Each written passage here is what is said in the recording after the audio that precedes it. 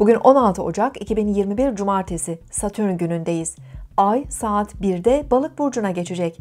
Önümüzdeki iki gün daha hassas ve sezgisel hissedebilir, manevi ve ruhsal konulara da daha çok çekilebiliriz.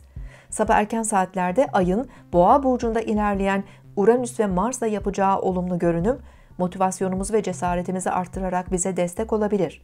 Bireysel fikirlerimizi daha rahat ifade edebilir, girişken davranabiliriz. Satürn'ün Ay'a yaptığı zorlayıcı açı zaman zaman biraz baskı ve endişe de yaratabilir. Saat 17'de Balık burcundaki Ay, Oğlak burcundaki Venüs'te uyumlu açı yapacak. Gün içinde hissettiğimiz baskı ve gerilim biraz azalırken daha iyimser ve rahat bir ruh haline de girebiliriz. Zevk aldığımız konulara ve sanatsal aktivitelere yönelmek ruhsal olarak da yararlı olabilir. Akşam saatlerinde sevdiğimiz kişilerle birlikte olmak kendimizi daha huzurlu ve güvende hissettirebilir. Siz de şimdi kanalımıza abone olun, yorumlar bölümüne sorularınızı yazın, sürprizlerimizden haberdar olun.